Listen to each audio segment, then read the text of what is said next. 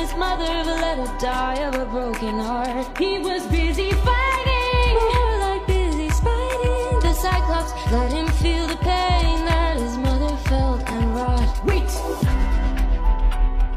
Please reconsider this. Really, Athena, these are tricks.